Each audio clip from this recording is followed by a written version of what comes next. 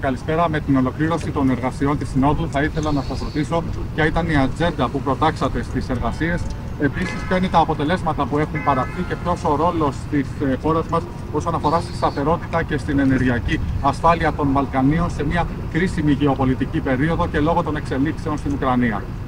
Θέλω να εκφράσω την ικανοποίησή μου για την αναβίωση της ε, διαδικασίας του Βερολίνου και για την ε, ενεργή συμμετοχή της Ελλάδος ε, σε αυτήν.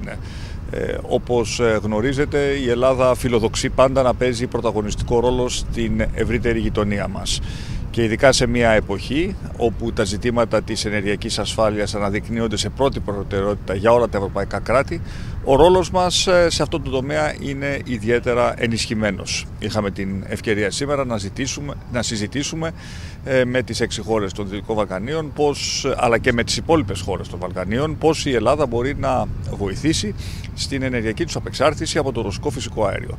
Όπως γνωρίζετε, δρομολογούνται πολλές σημαντικές επενδύσεις υποδομών στην πατρίδα μας, έτσι ώστε αυτή να καταστεί κόμβος εισαγωγής υγροποιημένου φυσικού αερίου υγροποιημένο φυσικό αέριο, το οποίο δεν θα καλύψει μόνο τις ανάγκες της πατρίδας μας, αλλά θα διοχετευτεί και προς ε, τα βόρεια, ώστε να καλύψει ανάγκες των Δυτικών Βαλκανίων, της Βουλγαρίας, ενδεχομένως της Ρουμανίας, γιατί όχι και της κεντρικής Ευρώπης. Ε, ταυτόχρονα η χώρα μας ε, έχει πρωταγωνιστικό ρόλο στην ενεργειακή μετάβαση, ειδικά στις ανανεώσιμες πηγές ενέργειας και πιστεύω ότι θα είναι πολύ ενεργή σε τέτοιου είδους επενδύσεις οι οποίες θα γίνουν στις χώρες των Δυτικών Βαλκανίων προκειμένου και αυτές να κάνουν πράξη την ε, πράσινη μετάβαση. Ε, θέλω να τονίσω και πάλι ότι ο ηγετικός ρόλος της ε, Ελλάδος ως μια δύναμη σταθερότητας αλλά και συνεργασίας στην περιοχή μας αναγνωρίζεται πια από όλους τους εταίρους και αυτό προφανώς ενισχύει συνολικά το γεωπολιτικό αποτύπωμα της πατρίδας μας.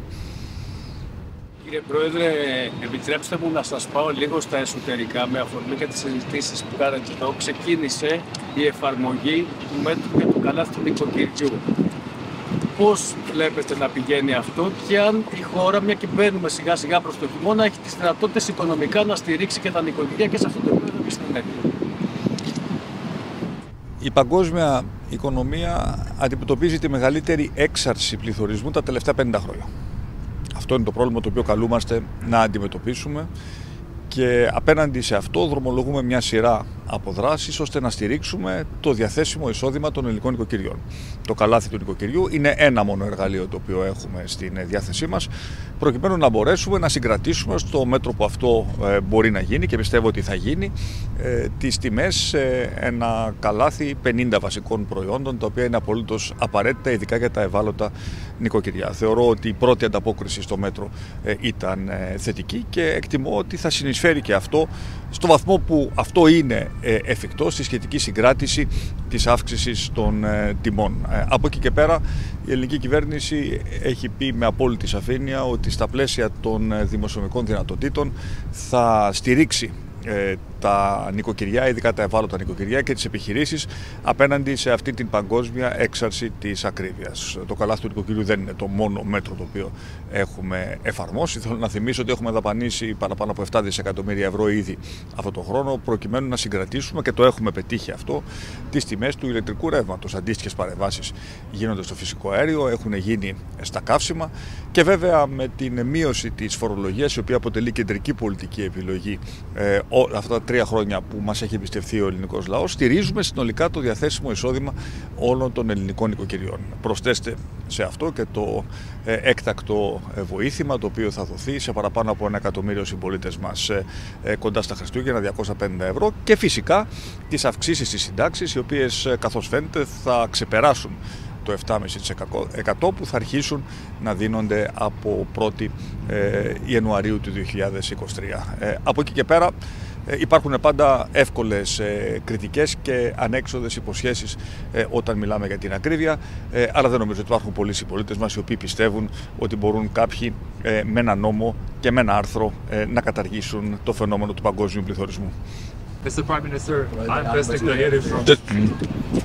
Εγώ θέλω να σας πάω στα ηλεκτρικά και παράδειγμα αλλεπάλληλες καταδίκες και από τις χώρες της Ευρώπης και από τις ευρωπαϊκές πολιτικές η Τουρκία εξακολουθεί να προκαλεί. Τον οδόν ο κ. Ερντογάν είπε πως η εμβέλεια του ταϊφούν είναι εντός εμβέλειας του ταϊφούν είναι και η Αθήνα. Στην Άγκυρα σήμερα βρίσκεται ο, Στόκ, ο κ. Στόλμπεργκ για επαφές με την τουρκική ηγεσία. Θέλω να σας ρωτήσω πώς αντιδρά η Αθήνα σε όλα αυτά. Και θα την ευκαιρία να το συζητήσετε το θέμα αυτό και με τον κ. Σόλτς σήμερα στο περιθώριο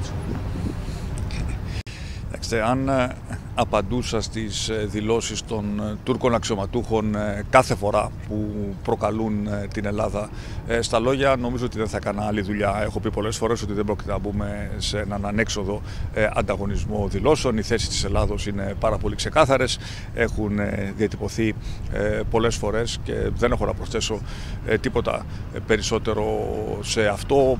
Προτιμώ να συζητώ για τα ζητήματα τα οποία αφορούν περισσότερο την ελληνική οικονομία, για τον γεωστρατηγικό ρόλο της πατρίδας μας. Και να σας πω και κάτι ακόμα. Κοιτάξτε, αν ε, και η Ελλάδα είχε παραπάνω από 85% πληθωρισμό, ίσως θα ήθελα και εγώ να αλλάζω συνέχεια τη συζήτηση και να την κατευθύνω σε, ε, άλλους, ε, σε άλλους τομείς και σε άλλη θεματολογία. Ευχαριστώ πολύ.